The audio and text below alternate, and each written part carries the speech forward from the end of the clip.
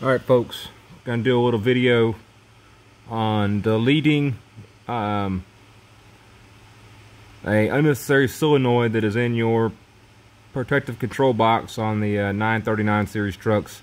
Um, this will work with 800 series trucks um, as well if you have the updated, if you put a 939 series box on it. 800 series boxes are all different. Um, I, have can cover that in a different video. Um, but basically, we're looking at here is a diagram of the uh, how the control box works, where the wires go, yada yada. This, where the red is going to, that is the bottom solenoid, okay, in the, the control box. Got a control box right here. Some look like this because, yeah, water gets in, water can't get out. Um, but what we're going to do is we're going to delete the top control uh, solenoid because you really don't need it. Um, if you want to leave it in there for a protection thing, it's one thing that can, that's just more things that can fail. Um, I have an upgraded gear reduction starter. Um, so really don't need a starting solenoid when the, uh, when the uh, truck has a decent one on it. Um, all it does is fail. So what we're going to do is we're going to get rid of this wire here, this wire here, which is just a power wire that goes across, um, goes to the starter. But we're going to get rid of it, hook it directly into the dashboard, and that's pretty much pretty simple. I mean, there's not much to it. Um, of course, you got a power diode that lets power go across, and that's it. Um, it's just simple as can be. You don't need an upper solenoid. You can leave it in there in case you need a spare one. What I normally would do is I actually will remove all this, replace them both.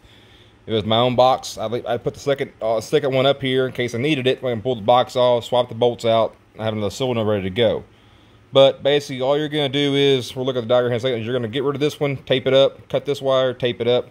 Actually, you can leave this wire here alone. It's not going to any power unless the, the solenoid comes on. And you're going to delete this little jumper wire that goes to here. So looking at the uh, computer here, you can tell when you hit your switch. Okay, right now you're off, no power. You got power, your battery's going to your switch. Turn it on. That powers up C and A. Um, 5081 come, is actually a wire that comes from the starter up to the control box, a small wire on the starter lug. A goes, of course, goes to the dashboard, um, which in the thing is, A will be, show it to you. In the bottom of your connector, you got letters on it. So you got A, B, C, D. So A is this one right here. In the upper right. So A is going to be right here coming in. That is your signal. When the key comes on to tell the um, it sends the power to the switch from this when it's kicked on. So basically what you're going to do is we're looking down here to get rid of this. It actually goes through your neutral safety. So when you hit, you know, say you want to start your truck, right now it's off. You turn it to run, you're going to have power going to your anti-lock brakes, which is what you want. Hit start. Neutral safety's got to have, power, have power going through it. Neutral safety engages. There's power back through E. E, which is this green wire here going to this solenoid, which receives its power from here, from the bottom solenoid source. And then basically when that hits power, it jumps it across to this, which then sends it out on 74 to the starter solenoid. Well, I mean, I say it's a starter solenoid, but you don't need two solenoids to tell it to turn on. Um, especially with modern technology, no big deal. So then all you will do is, down on your uh, starter, uh, we'll add that video here in a little about, um, you actually, there's a wire for your starter signal wire. Just make you a new eyelet, run it through the dashboard, run it up to your, uh, to your uh, switch, plug it in with a male connector, and you're rocking and rolling. You bypass the control box for that. So the only thing, you know, if you have a, if you have a problem with the control box, if it, if it, sometimes they will cycle on, and this solenoid here is fine. It won't start because this solenoid here is bad, which is preventing it. All right. So I mean, one thing is you can get rid of two. You know, you get rid of one problem. These, you know, you great. I use AC Delco solenoids, and they still have problems. I can use I can use Cole Hardesty solenoids, and they will still have problems. So I figured though, if I can if I can delete, you know, one of them, um, The thing is, the bottom solenoid in the control box, the one, uh, the actually the upper solenoid, is on uh, a Cole Hersee unit. Uh, on the ones that came in, came in the box, sorry, is actually a intermittent duty solenoid. Well, I mean, I'm sorry, but I'd have something that can work all the time and not instead of intermittently. Um, granted, it's only for starting, but we can get rid of that. So uh, when I replace the, what I do with the control box rebuilds, I put in two continuous duty cycle solenoids.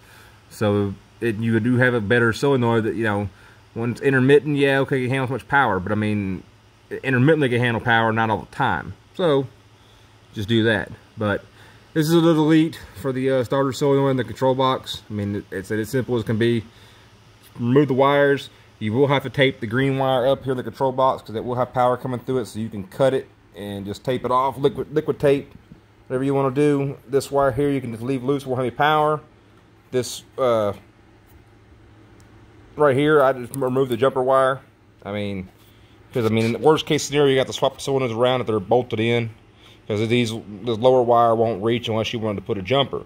I mean, you could do that if you want to. You actually could put a jumper from here to here, and that way both cylinders would power up together. You actually could delete the neutral safety out of the whole system, which is what this here is.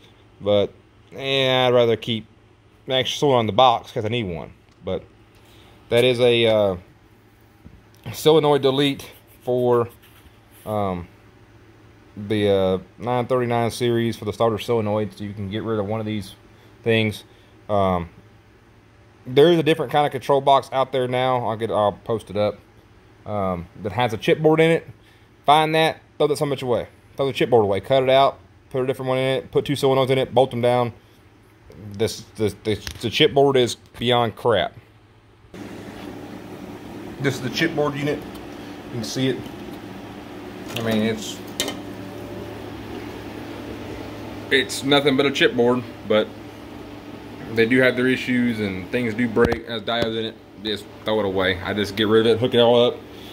And in real in reality though, in the normal control box, all the diodes and stuff, all the diodes and whatnot in here, that diode there, there's a diode here that goes down to ground.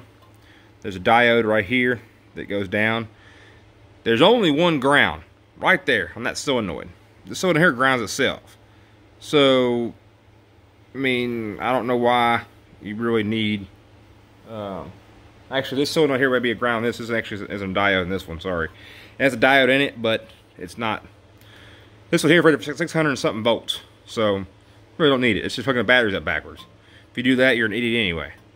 Um, so, but that's how you do it. Simple enough. Um, gets rid of a solenoid in case of a failure, but your starter solenoid is more reliable than these things in here.